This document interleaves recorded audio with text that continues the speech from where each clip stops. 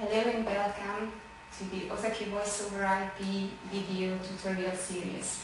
In this video I will talk about dial plans concerning Ozeki phone system expanded edition that is a voice over IP PBX system.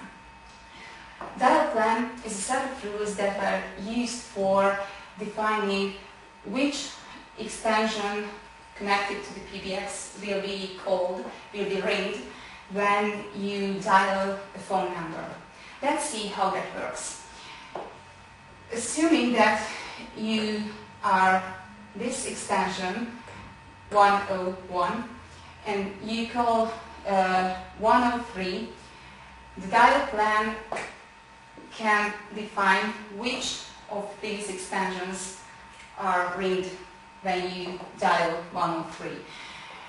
In a single rule, uh, it can be defined that you dial here 103 and the extension 103 will ring.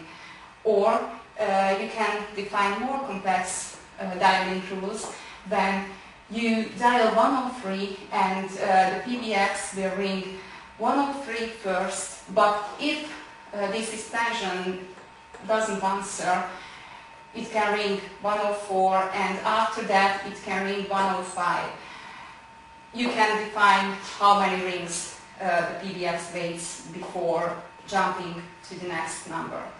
Or you can even define groups when you are dialing 103, the PBX can ring all of the three 103, 104 and 105 extensions. And if any of these extensions answer the phone, the others stop ringing.